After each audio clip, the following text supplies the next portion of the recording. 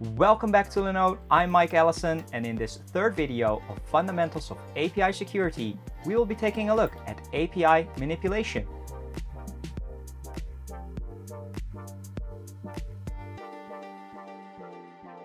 Now let's dive straight into ways that threat actors can manipulate your API that can cause severe issues to your APIs and the data.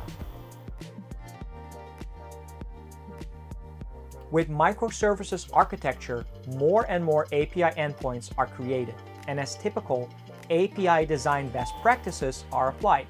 Many of the common API design structures that you see are using the same API endpoint, but changing the HTTP method to change the action. Think of an online library. The library offers an API to retrieve books. This get slash book will return the name and information of a specific book. Very helpful. However, post slash book will create a new book and put slash book will update the existing book and even delete slash book can complete that book and remove it entirely from the database. If a user can get the book, but also have the ability to then just change the API request to a put, post, or delete operation, they could be accessing admin functions that they really should not have access to. It is critical to protect these admin endpoints properly with secure authentication and authorization mechanisms and try to abstract them away as much as possible. Let's look at CRAPI again. Here we can see another API request being made, and we can see in the API response that it actually triggers a second API request to slash admin with these API endpoints listed. Without proper security in place, threat actors could try to utilize these slash admin endpoints and manipulate data, either by changing values, adding values, or in the worst case situation, deleting all the values and making your data disappear. So keep HTTP methods and the supported API endpoints in mind, as well as proper abstraction for API functions when developing your API. If we combine the broken function level authorization with the previously mentioned broken object level authorization or even broken user authentication, your API might really be set up for failure. Easy ways to gain intelligence on how your API works, and next, how to easily manipulate the data in the API.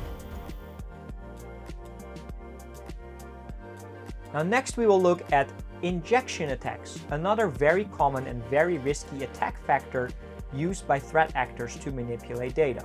OWASP has warned developers for years on the different types of injection attacks. Ways to feed malicious data to your infrastructure or databases to either disrupt, manipulate, or destroy your data. For many years, we saw traditional web application injection attacks, form fields would get used to load in specific injection attacks, like SQL injection, to manipulate the SQL databases. Given the fact that for many of the API endpoints, you have the ability to submit query string parameters, specific payload in the form of JSON, or even malicious payloads that could very well lead to issues when sent. When developing your API, make sure you apply proper data validation. Make sure to handle special characters properly in the right place and disallow them in places where they're simply not needed. For instance, if you're using an alphanumeric object ID, you really shouldn't be able to submit special characters. And if your API interfaces with a SQL or even a NoSQL database underneath it, ensure that threat actors cannot send known SQL injection attacks as part of the API endpoint. Again, the parameters or payload by properly sanitizing this data. Web application firewalls can be very helpful when protecting against injection attacks.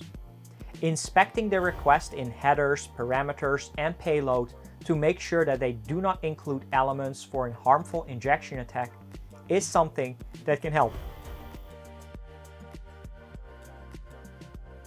Your API objects come with many different fields of information, or simply properties. Think of a loyalty program at your favorite boba store.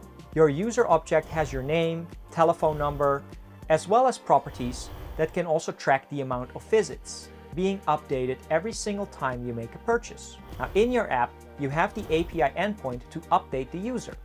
A simple put slash user slash ID that allows them to change their name or telephone number when needed. Simple enough.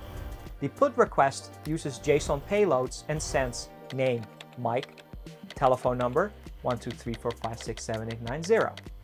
However, with mass assignment risks being involved, your API is actually able to update other properties as well, where the user could actually be sending in name, telephone, but also the amount of visits to say 25, it can increase their visit counter and earn themselves a free boba.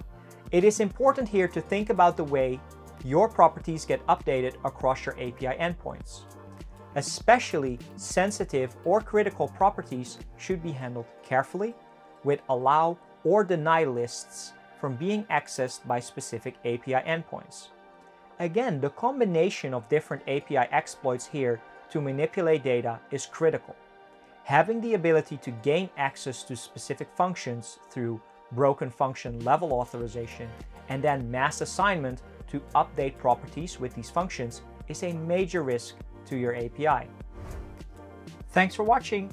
If you are new to Linode, be sure to click on the link in the description below to get a $100 credit added to your brand new Linode account so you can start building right away. Also, consider subscribing to the Linode channel to get notified of brand new videos coming out every week.